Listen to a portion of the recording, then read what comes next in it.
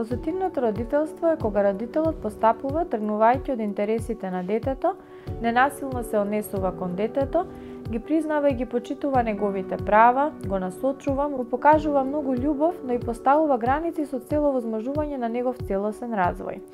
Родителството се учи е како да почнете да се занимавате со нова професија. Може да си го замислите како патување со детето за целиот живот.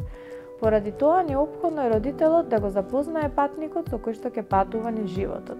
Потрудете се патувањето да ви биде уживање, а родителството како професија да ви биде предизвик со секојдневни успеси.